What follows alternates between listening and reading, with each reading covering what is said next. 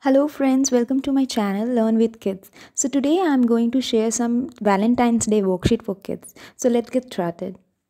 So the first worksheet is this in which the child has to find the beginning sound of each picture and color the heart that contains the same letter. For example, as you can see here is an apple. So apple has an a sound. So they will color with the letter they will color the heart which have the A letter. So the next worksheet is this in which I have made some letters with alphabets. Now the child has to put the letters in alphabetical order for a smooth delivery to the letter box. They need to connect the line from A to Z.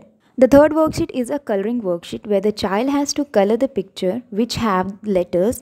They need to find the color code of that letter and color it. Now the next worksheet is a rhyming worksheet where the, I have given so many uh, rhyming words where the child has to read the words in each set of balloons and color two balloons of every set that are rhyming together. For example, there in the first balloons you can see here I have written bad, sad, hat. So the kid has to identify bad and sad is a rhyming word. So they will color both of them in a same color. Now in the fourth worksheet, the kid need to color the number of object given and complete the graph by coloring them. For example, there are three gift boxes given. So the kid will count and color the three graph boxes of gift given below. Now the next worksheet is the addition worksheet where the child need to solve the addition sum in each heart below and then color in the heart to match the solution. For example, there is a heart which where on the first heart I have written 4 plus 5. So 4 plus 5 equals 9. So the, uh, the child need to color the red color which have 9.